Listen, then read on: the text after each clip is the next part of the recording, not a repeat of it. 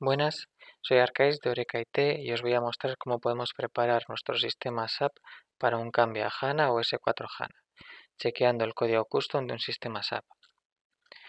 Eh, me voy a apoyar en unas diapositivas muy breves, tratando qué es el ATC, por qué usarlo o algunos conceptos que introduce esta herramienta de SAP y luego pasaremos a un ejemplo de uso.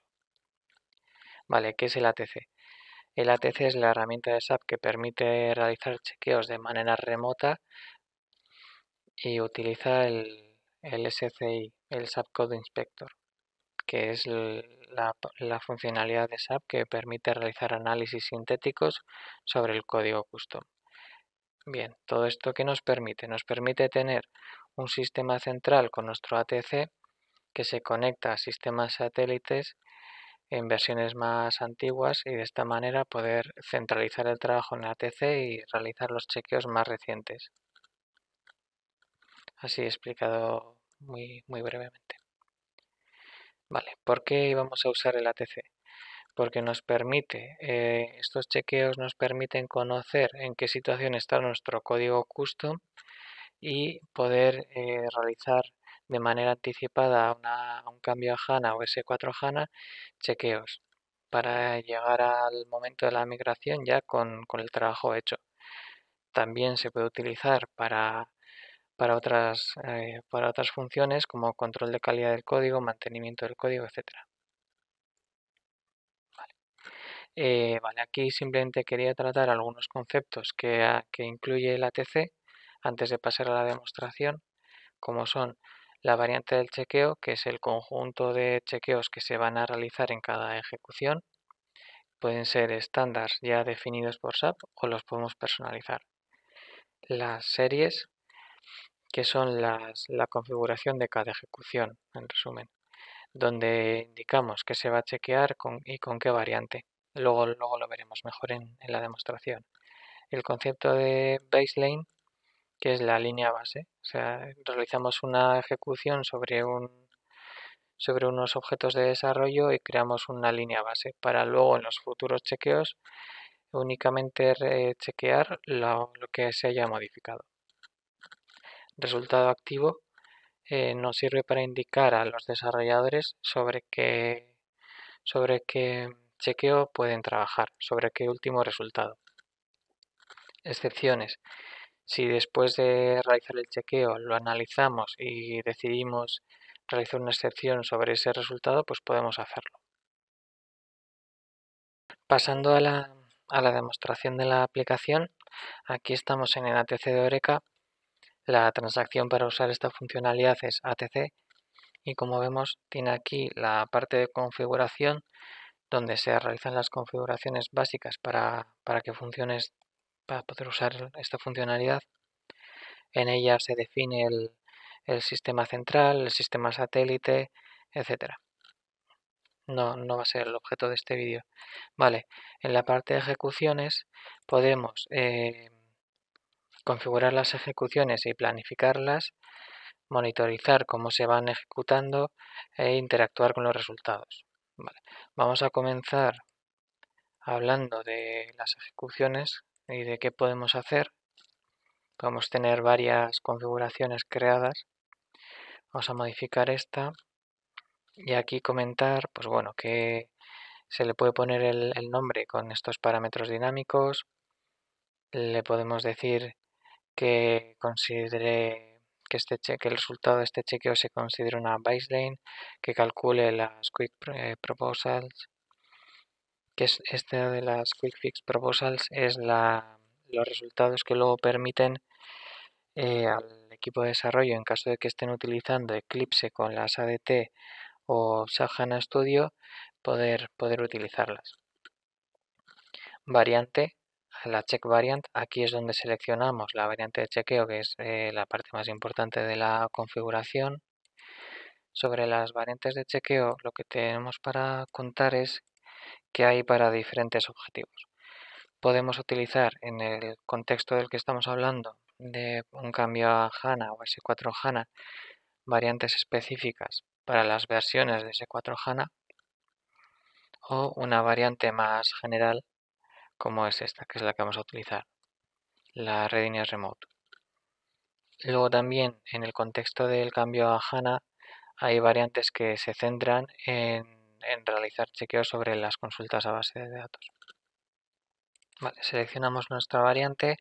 Aquí seleccionamos en Object Provider el sistema contra el que vamos a realizar el chequeo y en esta parte inferior seleccionamos los objetos eh, de desarrollo que vamos a chequear. Esta parte de selección de objetos se le puede crear un object set para hacer una selección más, más compleja, pero en este caso vamos a, realizar una ejecución muy sencilla sobre muy poco código para, verla en, en vivo, en directo. Vale, guardamos los cambios que hemos realizado, seleccionamos nuestra configuración y le damos a, la planificación. Aquí es donde podemos decirle cuándo se va a ejecutar y si lo queremos eh, marcar como resultado activo. Nosotros como tenemos muy poco código para analizar, vamos a ejecutarlo directamente, pero podríamos planificarlo en, batch.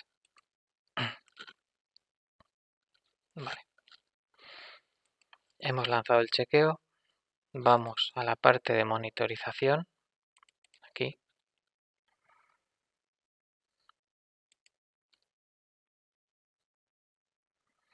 Y vemos que tenemos en, ejecución el, chequeo que acabamos de lanzar. La ejecución. aquí vemos cómo va progresando. Debería de acabar en muy poco tiempo.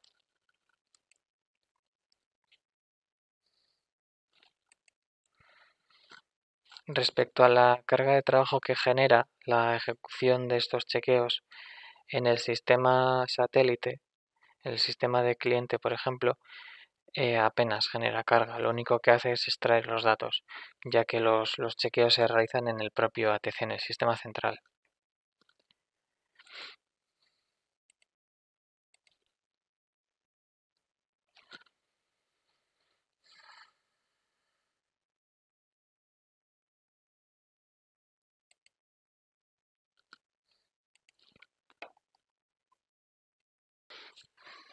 Bien, ya tenemos nuestros resultados.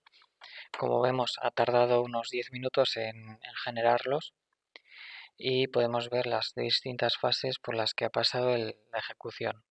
Aquí vemos las, las entidades que han sido analizadas y sobre todo aquí podemos fijarnos en que no ha habido ningún error. Si hubiese algún error aquí, significaría que el error se ha producido durante el chequeo. Entonces, pues habría que analizarlo, buscar la nota de SAP o realizar la configuración que nos, que nos falta. Vale. Vamos a, a navegar hasta el resultado. Los resultados se pueden ver desde el propio ATC o desde el Workbench en la S80 o desde herramientas de desarrollo como el Eclipse con, con las ADT o desde SAP HANA Studio. Nosotros las vamos a analizar desde, desde el propio ATC.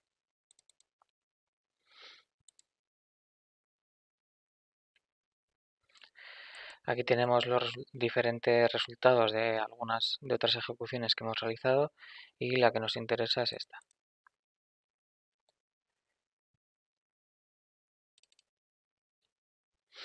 Vale. Los resultados desde la ATC los podemos ver de, diferentes formas.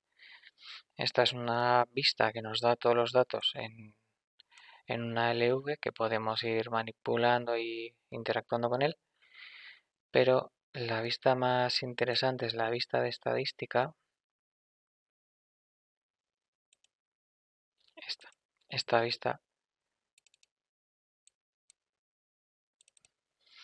que nos muestra los resultados en función del chequeo y del análisis realizado. Y luego ya dentro de cada de cada resultado, de cada análisis, nos llevaría al, al detalle, al código en sí que ha sido que ha sido identificado. Al código y a la línea que ha sido identificada en el chequeo. También podemos ver una vista que es interesante aquí por objeto referenciado que así nos, nos resume. Es como invertir la vista del resultado. En lugar de ver eh, que se ha analizado y luego los objetos, aquí veríamos los objetos que han, que han dado un resultado y, y luego ya en qué caso ha, ha sido detectado. También comentar que los resultados son categorizados por prioridades. Prioridad 1, 2 y 3. Vale, quiero volver a la vista anterior para comentar.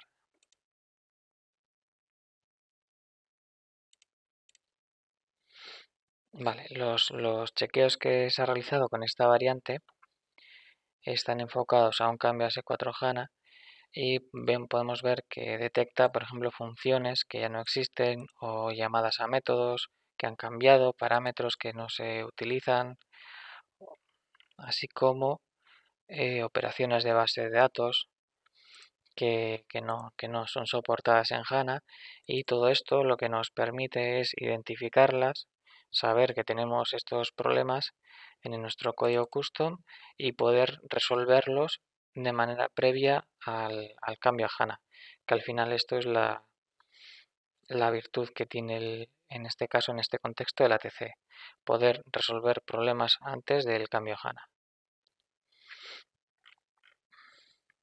Muy bien, pues nada, muchas gracias por ver el vídeo, por vuestra atención y un saludo.